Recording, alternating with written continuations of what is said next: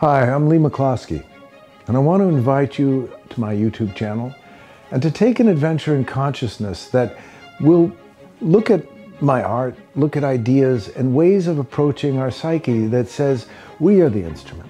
And if we're going to free ourselves, we have to ask the right questions. We have to realize that we are much more than we think we are.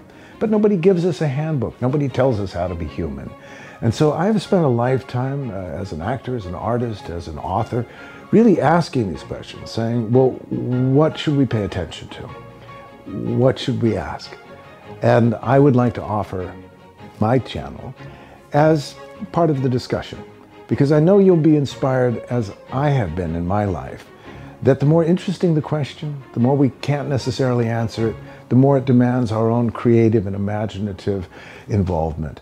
And this is what we need now, is that type of involvement. So please join me. It's not something big, it's something beautiful, it's something intimate. And it's reminding us that we are the garden we cultivate. So let's cultivate. Thank you.